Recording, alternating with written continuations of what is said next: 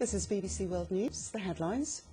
Scotland Yard confirmed the body found hidden in woodland in Kent is that of Sarah Everard. Detectives have been given more time to question a serving police officer on suspicion of her kidnap and murder. The former chief doctor of British Cycling and Team Sky, Richard Freeman, has been found guilty of ordering performance-enhancing testosterone, knowing or believing it was to be given to an unnamed rider.